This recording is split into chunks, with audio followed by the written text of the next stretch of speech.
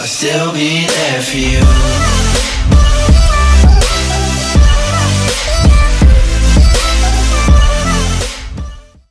Yo, what is going on YouTube? Welcome back to a brand new video. In today's video I got this insane tryhard outfit for you guys.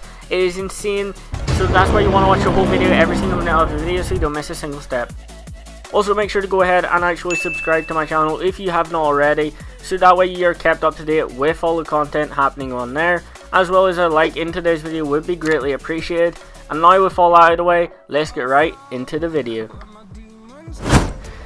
Yo, if you're looking for the best GTA 5 services, as well as mod accounts, all that there good stuff for GTA 5, then be sure to check out Messy Modding for literally the best stuff to do with GTA, whether that be on Xbox, PS4, or PC. He literally has everything with mod accounts, cash drops, anything account services, he's got it over on Messy Modding, so definitely be sure to go in the description down below and check him out. Yo, what is going on YouTube? Welcome back to a brand new video. Like I said, I'm going to show you how to make this here Blue Joggers tryhard outfit in GTA 5 Online. Now, what you'll actually need for this is simply the Blue Joggers.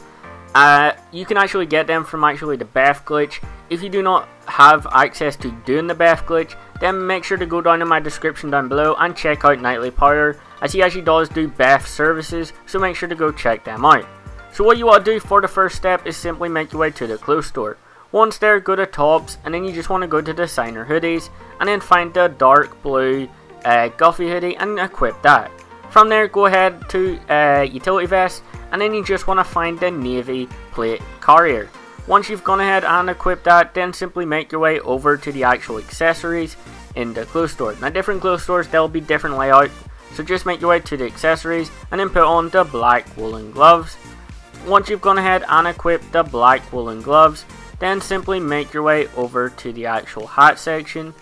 At the hat section, all you simply want to do from there is just before actually just simply go accessories and then put the rebreather on and then put a parachute on. Now once you've got that, then continue on and make your way to the hat section and then go to bulletproof helmets and then you just want to equip the black bulletproof helmet and that's you done. You now have made this tryhard outfit if you did actually have colored bulletproof helmets and you did do the BEFF glitch, then you can change the color of this bulletproof helmet to actually blue to match the rest of the outfit. And yeah, that's it for today's video. If you did go on to enjoy, be sure to drop a like and yeah, Venom Players, bye. Thank you.